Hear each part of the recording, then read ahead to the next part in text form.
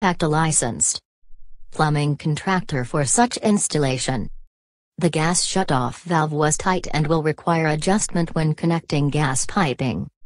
Fresh air exchange was minimal in this laundry area. Regularly open windows aid such